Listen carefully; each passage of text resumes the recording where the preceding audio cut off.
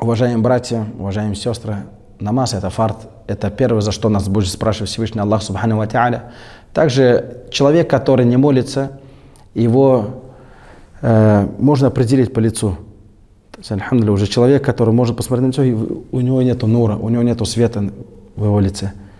Потому что он не поклоняется Всевышнему Аллаху. Он кушает из еды Аллаха, он, он пьет из воды Аллаха, он ходит по земле Аллаха, дышит воздухом Аллаха, но не благодарит Аллаху. Неблагодарный человек Всевышнему, как он может быть благодарен быть другим кому-то, если он не благодарен Аллаху Субханаху Ва Поэтому также это из цифатов аль-мунафикин, э, лицемеры, они не любят молитву, они не любят намаз. Всевышний Аллах Субхану Ва Та'аля сказал, «Ида каму иля салати, каму кусаля, юрауна нас, валя идхкуруна Аллаха, илля калиля». Описывая лицемеров, Всевышний сказал, они, когда встают на молитвы, на намазы, они встают с ленью, то есть не хотят молиться. Юрауна нас, занимаются показухой среди людей и мало поминают Всевышнего Аллаха, Субхану Ва Та'аля. Мужчина, глава семьи, отец, он, если видит кто-то в его семье не молится, то он должен повелевать, приказывать своей семье молиться, выставить молитву. Человек скажет, например, часто говорит, то есть нет уже принуждения в религии. Ла икраха фиддин. Нету принуждения в религии, имеется в виду то, что нельзя человека заставить принять ислам. Но если человек принял ислам или он мусульманин, то тогда остальные действия, которые мусульманин обязан делать, глава семьи должен призывать к этому, быть примером и повелевать своей семье молиться. Всевышний сказал в Коране, «Ва'мур ахляка биссаля, вастабир алейха». Повелевай своей семье молиться и проявляй на этом терпение.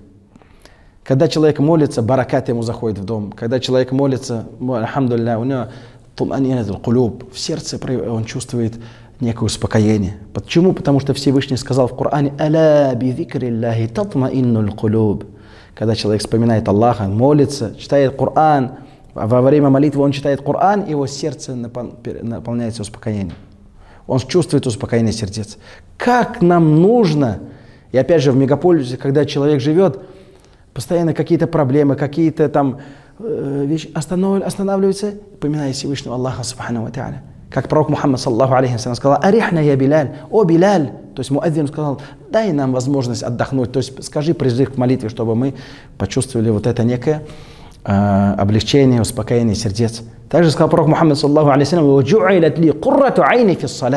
то есть мое спокойствие, успокоение всей моей души и моего тела, оно в намазе, оно в молитве, сказал пророк Мухаммад, саллаху алейсалям. Когда человек хочет что-то получить от Аллаха, какие-то бывает такое, уважаемые братья и сестры, когда у него что-то внутри тяжесть, кто-то какое-то испытание, что-то ему тяжело, вот как только он почитает молитву искренно, сделать земной поклон, попросить Всевышнего Аллаха Субхану Тааля, он почувствует, как будто с него плеч он отдал долг Аллаху, и он почувствует успокоение сердец. Человек, который не молится, он подобно мертвому человеку.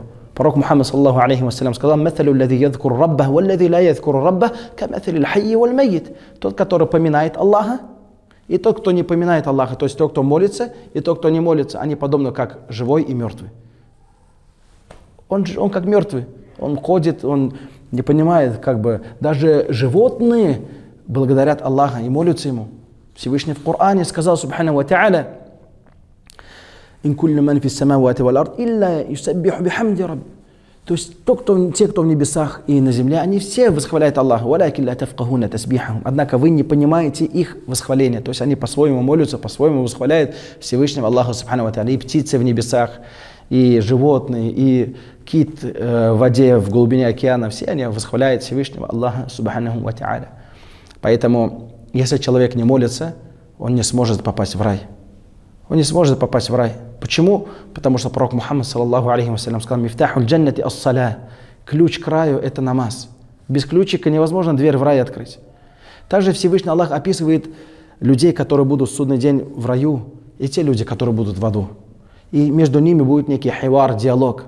Всевышний Субхану Ва сказал в Коране, في جنات يتساءلون عن المجرمين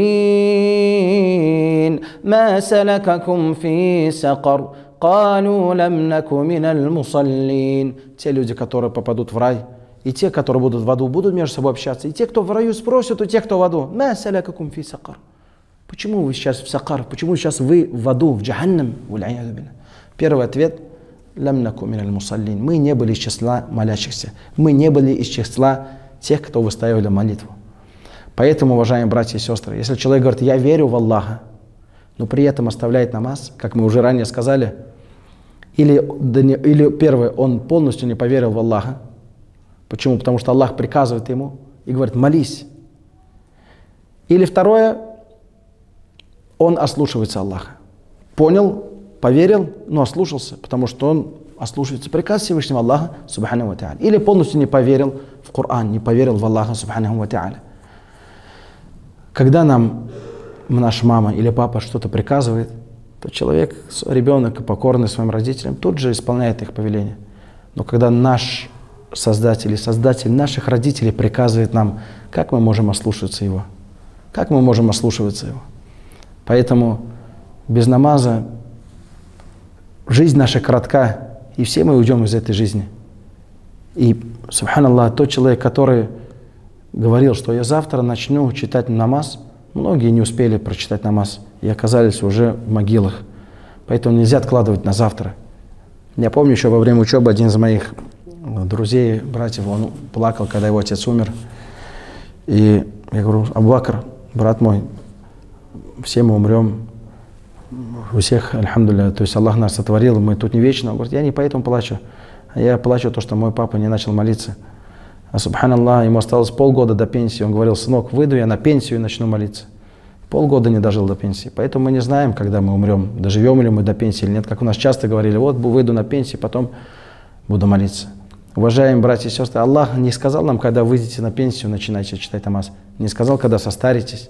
А сказал, когда только вы станете совершеннолетними, то я приказываю. Уже все, с человека спрос. Поэтому не оставляйте то, о чем придется потом сожалеть. И обратное возвращение, возвращения нету из той жизни, из вечной. Поэтому, альхамдулилля, только человек, который молился, у него будет нур, у него будет свет в судный день. Когда будет темнота ночи, у него будет свет, альхамдулилля. Он будет светиться, его нур, его свет из его лика. Симахум фи уджухим мин атари суджуд, как говорит Субхану Ва В их лиц, ликах, в их лицах нур, свет, из-за того, что они много делали земные поклоны, много поклонялись Аллаху Субхану Ва